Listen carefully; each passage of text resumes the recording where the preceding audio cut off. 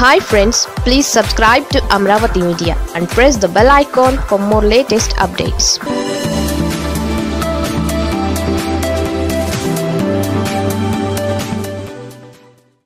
పార్లమెంటులో టీడీపీ ఎంపీల అడ్రస్ ఎక్కడ? పార్లమెంటులో తెలుగుదేశం పార్టీ ఎంపీల అడ్రస్ కనబడడం లేదు.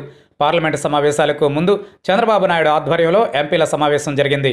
ప్రత్యేక హోదా విశాఖపట్నం ఉక్కు ఫ్యాక్టరీ ప్రైవేటీకరణకు వ్యతిరేకంగా వైసీపీ ఎంపీలు ఉద్యమించాలని టీడీపీ డిమాండ్ చేసింది. ఆందోళనలకు వైసీపీ ఎంపీలు నాయకత్వం వహిస్తే తాము కూడా మద్దతు ఇస్తామని ఎంపీల తరఫున శ్రీకాకుళం ఎంపీ కింజారపు రామ్మోహన్ నాయుడు మీడియాతో చెప్పారు. ఇంతటితో ఆగకుండా రాష్ట్ర ప్రయోజనాల కోసం వైసీపీ ఎంపీలు రాజీనామాలు చేస్తే తాము కూడా రాజీనామాలు చేయడానికి రెడీగా ఉన్నామనే బంపర్ ఆఫర్ ఇచ్చారు. సరే రాజీనామాలపై టీడీపీ ఎంపీ వేసిన గాలానికి వైసీపీ ఎంపీలు తగులుకోలేదు. ఎందుకంటే రాష్ట్ర ప్రయోజనాల కోసం రాజీనామాలు చేయాలని టీడీపీ ఎంపీలు అనుకుంటే అందుకు వైసీపీ ఎంపీల రాజీనామాలతో లింకు ఎందుకు? టీడీపీ ఎంపీలు రాజీనామాలు చేస్తామంటే ఎవరైనా వద్దన్నారా? ప్రత్యేక హోదా విషయంలో అప్పట్లో వైసీపీ ఎంపీలు రాజీనామాలు చేసిన విషయం అందరికీ గుర్తుండే ఉంటుంది. కాబట్టి ఇప్పుడు టీడీపీ ఎంపీలు కూడా రాజీనామాలు చేసేయవచ్చు సరే ఈ విషయాన్ని పక్కన పెట్టేస్తే కనీసం ఆందోళనల్లో కూడా ఎక్కడా కనబడడం లేదు.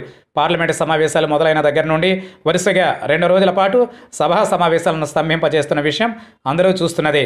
ఇటు రాజ్యసభ అటు లోక్సభలో వైసీపీ ఎంపీలు ఇంత రచ్చరచ్చ చేస్తూ ఉంటే మరి టీడీపీ ఎంపీలు ఏం చేస్తున్నట్లు?